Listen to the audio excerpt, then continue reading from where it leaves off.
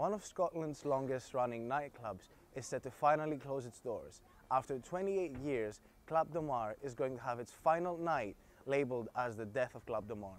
Um, I think it can go one of two ways. I think it'll either be really, really good, Mm-hmm. or it'll kind of fall flat on its face.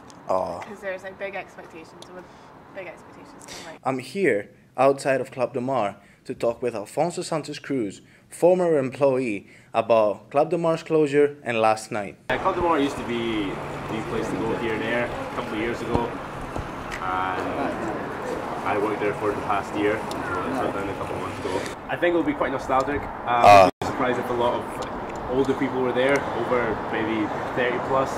we would sometimes host nights for, for geared towards older people, but considering the fact that the final night is an over 21s, I would be surprised if it's got from that to older people. One could say the Club de Mar fell a victim of competition from not only clubs just in Ayr, but also from nearby towns and Glasgow.